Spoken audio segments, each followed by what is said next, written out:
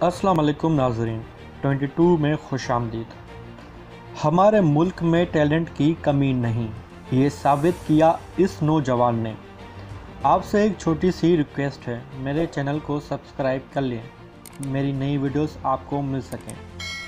पाकिस्तान का वो टैलेंट जो दुनिया में अपना नाम कमा सकता है, वो गाँव की छोटी छोटी गलियों में रहता है और बेरोज़गार है, वो 10-20 रुपए के लिए परेशान है।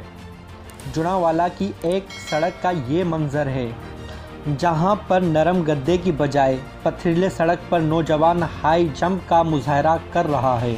हमारे प्यारे मुल्क में टैलेंट की कोई कमी नहीं, मगर टैलेंट को सिर्फ़ क्रिकेट में ही ढूंढा जाता है।